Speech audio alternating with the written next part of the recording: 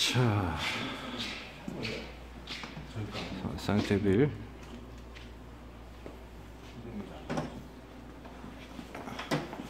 데모 시연하기 위해서 지금 한참 세팅하고 있습니다.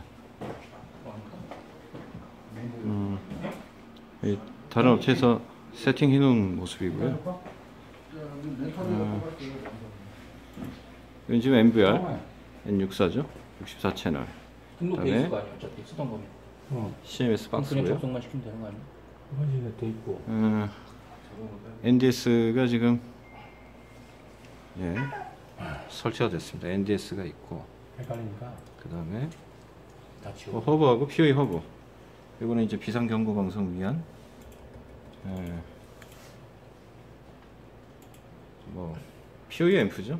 NAC 2000 한번 펜 봐봐 이게 이제 스피커하고 연결이 될 거고 음, 이쪽에 오면 비상벨 마우스 패드 하나 좀. 네, 비상벨하고 이렇게 연결이 됩니다.